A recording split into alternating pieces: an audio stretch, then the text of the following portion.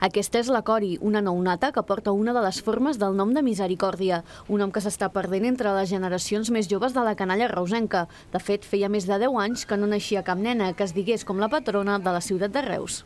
Des que era molt petita ja m'agradava molt el meu nom i sempre ho deia, quan tingui una filla li posaré el nom de Cori. A mi m'agradaria que es pogués motivar ni que sí, no? però és un nom que és molt bonic, de la patrona de, la patrona de Reus, la Mare de Déu de Misericòrdia, no? Jo penso que la gent s'hauria d'animar una miqueta més o fer com fan alguns ajuntaments, motivar no? a la gent a que li puguin posar aquest nom, perquè és un nom molt bonic. La Cori va néixer prematurament amb només sis mesos de gestació el passat mes de març, just començar la pandèmia de la Covid-19.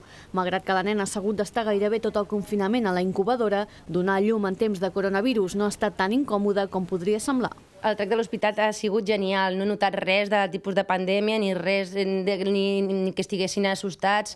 Han fet un treball superbo, jo no he notat res l'únic que he notat la soledat, no? d'estar sola, no poder tenir visites, no tenir ningú. També era molt al principi, no? Vaig, va ingressar el dia 12 de març, justament, i era al principi, era una miqueta, se notava que no, que no estava la cosa, que no sabien no, com fer-ho.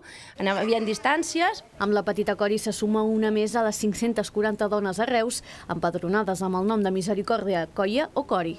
Sí, la